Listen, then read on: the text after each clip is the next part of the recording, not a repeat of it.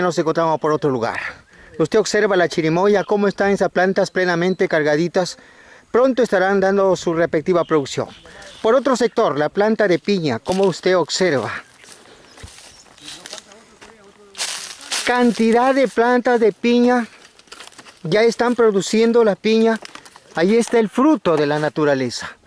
Esfuerzo del hombre, la gratificación a ese amor que siente el ser humano por labrar un granito de tierra y posteriormente verlo reflejado con el prodigioso fruto. Caballero, muy buen día, ayúdeme con su nombre. Buenos días, me llamo Clever Lapo.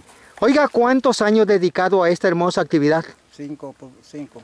Cinco años. Cinco años. Cinco años. El conocimiento es hermoso, hay alegrías, frustraciones y también necesidades. ¿Se siente realizado en su relación permanente con la naturaleza? Yo creo que sí. Sí. Sí, sí.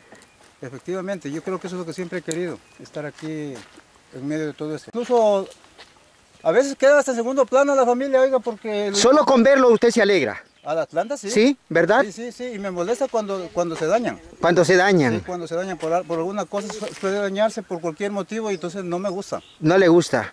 O sea que usted lo cuida mucho porque es fruto de su esfuerzo, ¿verdad?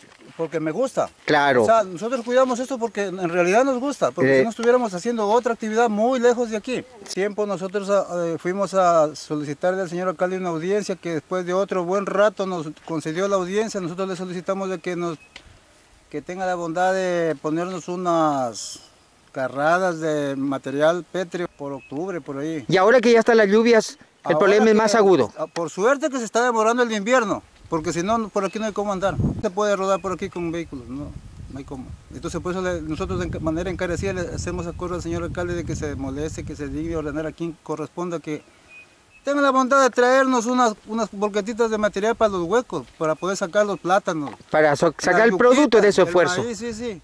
Muy bien. Señor John Cherre, alcalde del Cantón Arenillas, una persona culta y respetable, le formulamos el llamado correspondiente para que atienda el clamor de esta gente que se dedica a la noble actividad de hacer producir la tierra para llevar el sustento a su propia comunidad.